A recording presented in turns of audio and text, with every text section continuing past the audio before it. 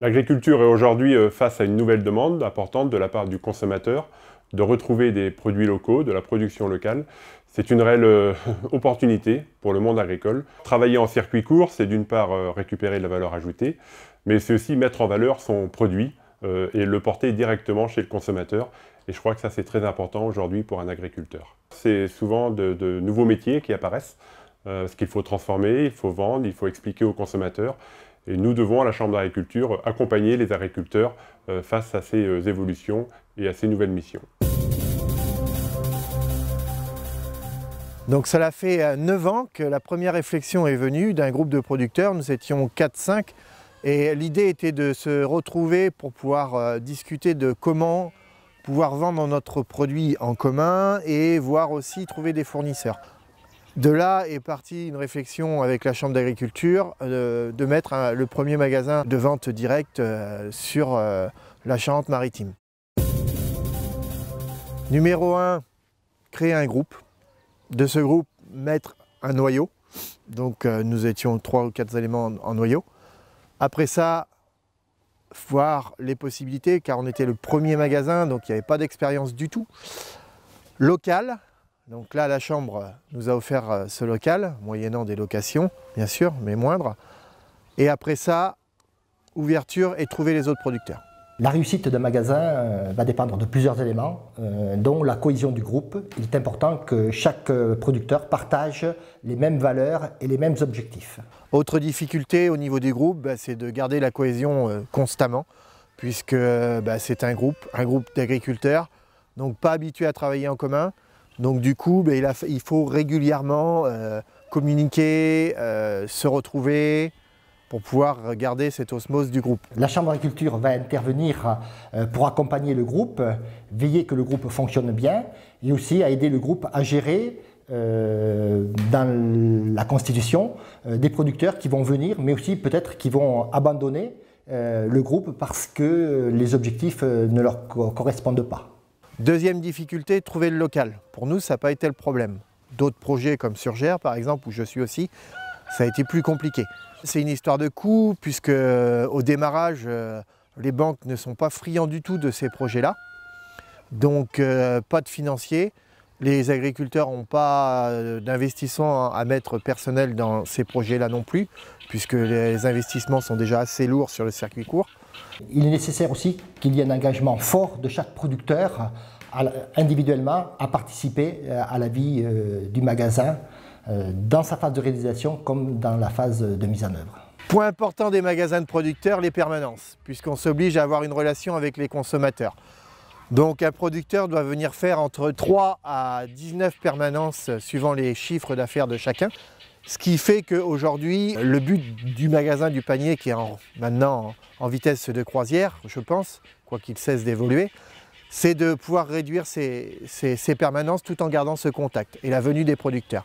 Donc pour cela, ben, on a embauché du personnel et euh, du fait qu'il y avait du personnel, on a embauché un responsable de personnel parce que ce qui devenait le problème, c'était de gérer à distance euh, les employés. Un noyau leader de producteurs qui va porter le projet et faire fonctionner le magasin. Aujourd'hui, le panier de nos campagnes, c'est vraiment une gestion euh, d'entreprise puisque c'est euh, une entreprise avec un responsable et 28 autres chefs d'entreprise qui ne pensent pas forcément comme euh, nous, mais qui doivent arriver au même point final de la vente directe de leurs produits. Des produits euh, de qualité et venant de l'exploitation vendus à un prix raisonnable. Lorsque nous rentrons de nouveaux producteurs, un autre point important se met en place, c'est d'appuyer sur la qualité et de garder les qualités que nous avons auparavant.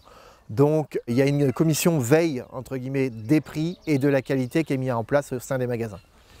Il y a 16 ans, lorsque je me suis installé, j'ai choisi le circuit court. C'était très difficile.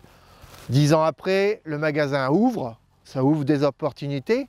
Aujourd'hui, on permet à des jeunes agriculteurs de s'installer dans notre magasin, qui démarre directement le circuit court.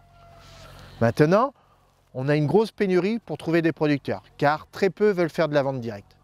Compliqué, demandeurs de, main-d'œuvre, etc., etc. Autre problème que l'on rencontre, nous avons une grosse demande.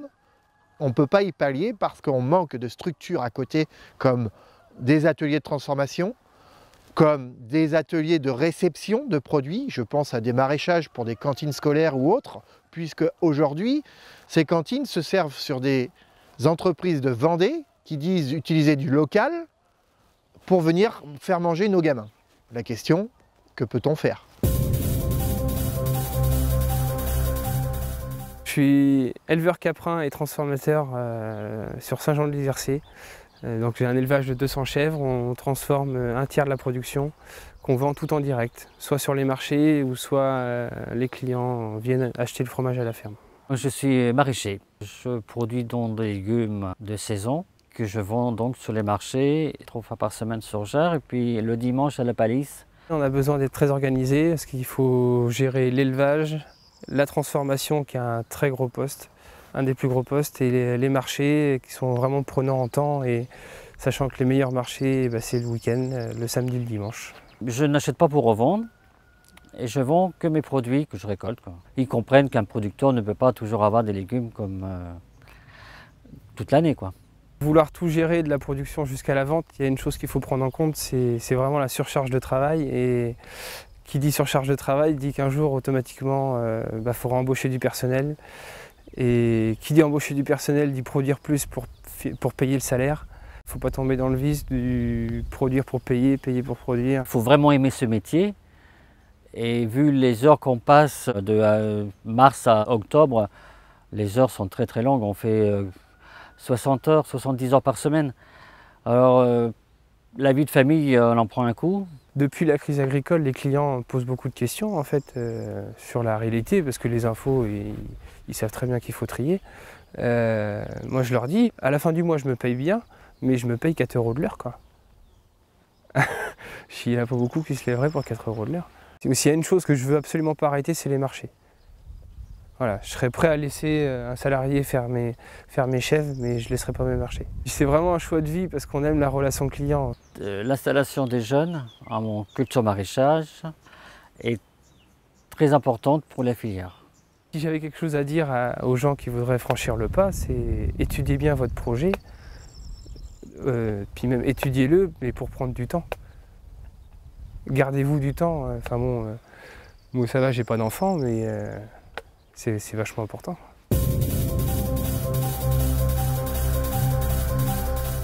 Le CMS Sésame anime depuis 2009 un groupe de producteurs adhérents pour livrer leurs produits locaux dans la restauration collective de Charente-Maritime. L'enjeu pour nous est de développer les ventes en répondant aux appels d'offres des marchés publics. Pour cela, il faut qu'ils soient rédigés de façon à être accessibles aux producteurs locaux. Nous nous inscrivons dans une dynamique collective où producteurs et acheteurs doivent s'organiser en réseau, où la volonté politique doit être forte, où les personnels doivent être accompagnés pour le changement de pratique afin de retrouver de la proximité entre producteurs et consommateurs.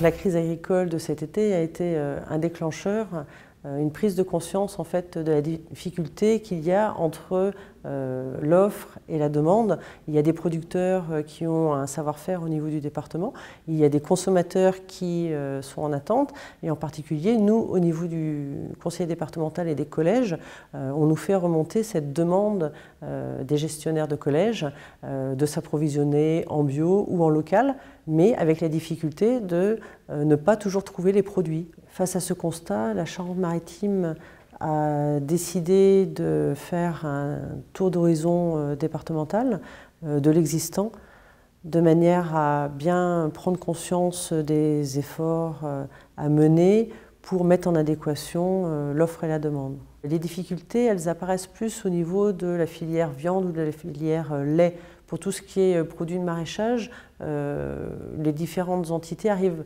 globalement à s'approvisionner en circuit court. Nous avons la volonté de fédérer euh, toutes les énergies du département avec les spécificités de chaque territoire pour qu'ils soient complémentaires et qu'ils puissent répondre à la demande euh, bah, des Charentais maritimes, que ce soit euh, les habitants ou les touristes qui viennent l'été et qui sont en grande attente par rapport à la qualité de nos produits.